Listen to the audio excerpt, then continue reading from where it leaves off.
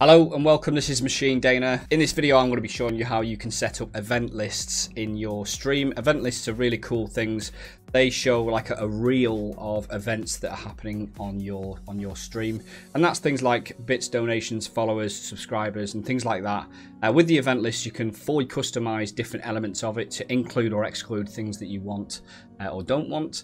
Uh, you can also customize the layout, you can customize the fonts, the size, the design. There's a lot of flexibility included within the event list, including how frequently those things show, whether it's there permanently, whether or not it fades away and things like that. I'll show you all those settings within this video. Event lists probably work pretty well as an alternative to labels.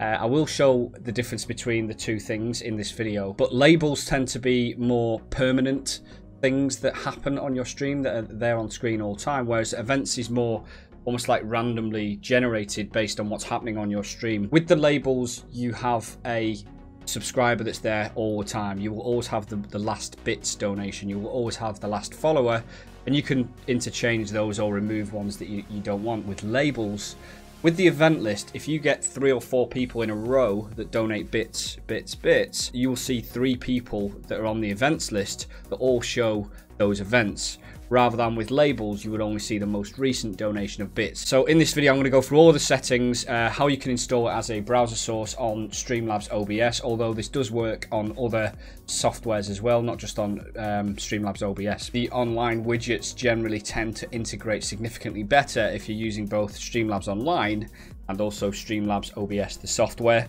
but it's not mandatory to use the software. If you find this video useful, please thumbs up the video as it helps other people that want to find a similar video to this. If you want to see more tutorials and things like this, I also do Stream Deck tutorials and other stream advice videos. Click the button below to subscribe and welcome in. Finally, I do stream six out of seven days per week at six o'clock UK time. Uh, you can find me at twitch.tv forward slash machine daena if you want to see any of these things in action on my stream. Without further ado, let's get into it. So first, looking at this, you, you want to navigate to streamlabs.com and under the widgets section you will see a number of different widgets that are available to you by default from Streamlabs. And I've done lots of other videos about for instance uh, chat box or media sharing uh, and view counts lots of other videos uh, so please feel free to browse my Streamlabs videos. In this video we're, we're interested in the events list. As you can see here the example we see is followers bits uh, a donation and subs. But the reality is on your stream those things are not all going to happen in sequential order. Uh, you may get lots of bits donations or lots of subs that happen and you may want to just see the most recent events in general on your stream. I wouldn't personally recommend having that and the stream labels because the thing you've got to bear in mind when you're a streamer is you've only got a very limited amount of screen space so call it like premium real estate space on your stream um, and, and in general, it's always best to keep things as simple as you possibly can. And I, so I'll show you an example uh, using my own stream labels of what they look like. So these, what you see below, are actually stream labels, and it's fixed on the subscriber, the top donation, and the latest cheer. They will be there all the time on my particular stream, and they take up a limited amount of real estate. If I then also had, let's say, above me, a feed of the latest events happening. That's actually going to start to take up quite a lot of space. You, you just got to be careful on what you do and don't do. You guys can do completely what you want. What you then need to do is log in with your credentials and you can use your Twitch, Facebook or your YouTube gaming credentials to log into Streamlabs if you don't already have a Streamlabs account. There are two ways that you can set this up uh, if you're using Streamlabs OBS. If you're not using Streamlabs OBS, you have to set it up in Streamlabs Online first, and then you need to copy the widget URL is into your software as a browser source, your streaming software. As we can see here, this is just a preview example and you can customize all of these elements. And we can also later on in the video, we'll look at custom themes as well. So here we've got, you can see donations, we've got subs, uh, we've got bits examples of these different people that are triggering those events. First, you can choose the, the theme itself and there's loads of different options. I want to go with something a little bit more retro or honeycomb. It's quite interesting. So let's say we want to go with honeycomb. Uh, there's the theme color here that you can choose. So let's say we want to go with something a little bit more honeycomby, like orange. So there you go. It's quite a nice design already in among itself. And now here you choose what events you actually want to be included in the reel of events. So many people choose to not have follows. Um, I think when you first start off streaming, your first one to 200 follows, uh, it's good to have acknowledgement of those because you're growing and that's one of the most important things when you're first starting out. As you become a little bit more established, you then start to focus a little bit more on content and a little bit more on on um, kind of monetization uh, and less so the growth although the growth will always be important to you. So we can choose to include or exclude followers. Um, so I'm going to exclude followers. Merch I don't have merch on my particular channel so I'm going to turn that off. Um, hosts and raids probably gonna probably gonna put raids on there because uh, I think that's quite a nice one to incentivize ra raids a little bit. Now you might want to just set a minimum value for the for the bits for it to actually trigger on this particular show reel. Remember, it's taking up that space on your stream, so you want to be careful at, at, kind of how easy it is to actually take that space up. So you might want to set a minimum bits, um, let's say for instance 200 bits, minimum for raids as well. Some people will sometimes raid with one or two people, and whilst the thought is lovely, obviously, again, it's taking up premium screen space that could be taken up by something else that is arguably more valid. So, for instance, you may want to say, right, minimum raids of at least 10 people. And then the max number of events. Now, this is just the max number of events that actually shows in the list. So, normally like three to four is a good idea here, but you might only want to have like two or three. In this case, we'll see this will show only two. So let's just set that to uh, maybe, let's say four events. Uh, the text color itself, we set it there to white. Um, I'm going to say, actually, I'd quite like the contrast of a slightly yellowy white. See what that looks like. Uh, that's interesting enough. If I was having a very citrusy, zesty theme, then that would work pretty well on mine. And then you can choose the font as well. I tend to use one um, on my screen on my stream, which is called Orbitron. Uh, that's just, just a font that I tend to use. It's a little bit more futuristic looking, a bit more poppy. And then we can choose the font size as well. I'm going to just reduce this a little bit. Again, this is all personal preference. And then we've got different animations that you can play where it bounces in, bounces out, and you can just play around with these. There's a lot of them. And then there's a speed that you can set as well in, and I think this is milliseconds. Let's just try 500. This will speed it up quite a lot. This just means if you're getting multiple events happen at once, it can either spread it out more and elongate it, or it can do it quite quickly if you'd like to do that. Let's just see what putting this up to 2,500 does. There you go. See how it slowly came up there? That's the speed of it. And then we've got the fade time. So this is set it, setting it to, to zero will mean that the widget will always show on your stream. Whereas if you have a fade time, for instance, 10 seconds, after 10 seconds, the whole widget will fade out completely until the next event, in which case the whole widget will appear again with the most recent events and the newest event that's triggered that to refade. As an example, let's just show this as a, as a three second fade. We have an event that happens, or a number of events that happen. Hopefully this will now freeze and then disappear. Now it's not showing it in this example. Yeah, there you go, it showed it in the example. So after three seconds, that faded away. I'm going to have it, in my case, doesn't fade away and stays on screen all the time. These are uh, to keep the event's history. Different options here. Flipping X and Y, I believe what that does is just, rather than going from top to bottom, it goes from bottom to top. Let's just see what flipping Y looks like. Yeah, they come up from the bottom. Uh, now you've got the option to enable or disable some custom HTML, CSS or JavaScript. If you've got any friends or whatever that are good with HTML, CSS or JavaScript, or, or if you have a highly customized set of themes on your stream, then you may want to look at these um, and, and apply the themes and CSS styles into this particular widget. And that just includes the fonts, the colors, the sizings, the spacings, the padding, and all the usual stuff you'd expect. I'm fairly happy with that now, so I'm just gonna I'm just to save the settings at the bottom and I'm now to copy the widget URL to my clipboard. I get a confirmation here that the URL is copied to my clipboard. So in Streamlabs OBS, there are two ways that you can add that function. If you are using Streamlabs OBS, you can add this as a event list here.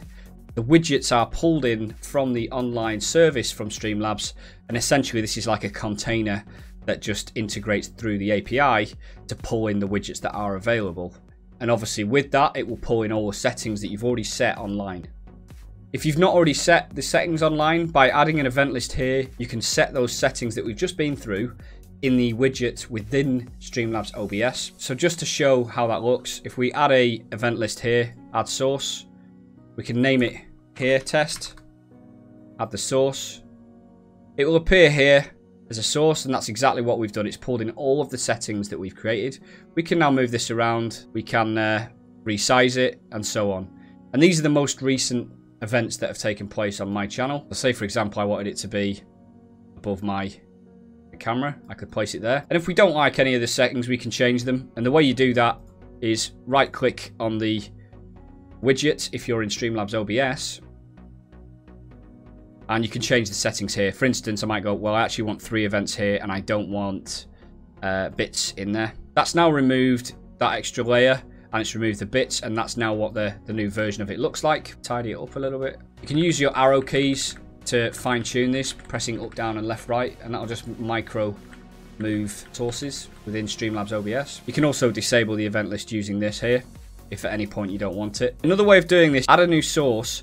If you're not in Streamlabs OBS, these widgets will not import into the software, in which case you simply need to add it as a browser source, which will then look at the webhooks, and because it's integrated to uh, your Twitch or your YouTube or your Facebook gaming, it will pull that data through the browser source via the webhooks and the API. Click that, add source. We can name the source. We first want to set it as a new source. Add that source. By default, you'll see the placeholder image, which is just Streamlabs' placeholder image here. You need to paste it, paste in the widget URL that we copied earlier to clipboard. Make sure that you don't give away any detail about that widget because it's got sensitive uh, key information about your stream. Must admit, this orange is kind of making me feel a little bit more radiant above me. I don't know if it's just the contrast of colours, but I look like I've got a better tan. Maybe I need to keep this on my stream.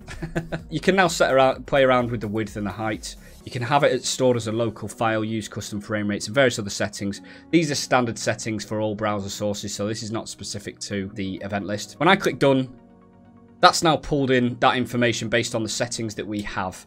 Now note here that we made some changes to the OBS widget version within Streamlabs OBS and those changes have pushed back up to the online portal which is now stored in the cloud. So when we've then come to add a new browser source it's pulled those new settings in and placed them on the browser source.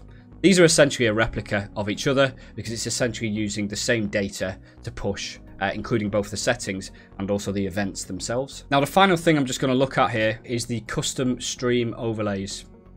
So if you're fortunate enough to have an upgrade of Prime Streamlabs Prime on your Streamlabs account. And if you look within the widgets list here, or widgets, and you actually click on the events list, there are some examples of uh, some event lists that are themed. So these essentially carry the design and the CSS and the HTML theme of whatever overlay you may have installed. It'll pull in all of the same designs, but match it to an event list instead of it being something else. And I'll show you a good example. We'll look at the overtime theme widgets by Hexam. The widget themes here you'll see there's an event list example here, and that is purely a browser source, exactly as we've seen.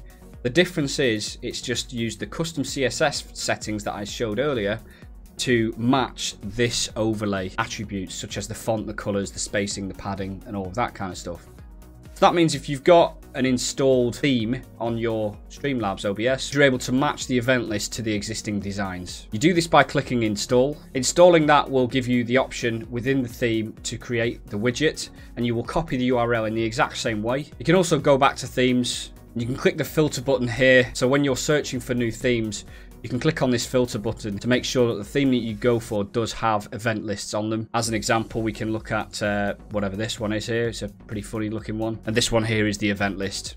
If you do upgrade to Streamlabs Prime, and there are many benefits. Uh, I'm not associated with Streamlabs, but I do use it. If you want to get money off upgrading to Streamlabs Prime, literally you will get money off by using my affiliate code below and it's like 10 or 20% off the price of Streamlabs Prime, so feel free to do that if you're not already upgraded. So clicking install would install these as themes. The final thing, just to manage those themes, you can click on manage theme here, and I'll show you an example of that on Alertbox. There's managed themes here on Alertbox, and so on. Even on Chatbox, I think they've got managed themes, so there are Chatbox themes that you can get as well. You've essentially got theme profiles. For me, I use like a synthwave theme, uh, so I'm able to activate that and I can create a widget theme here and go through the process of doing that and save the settings.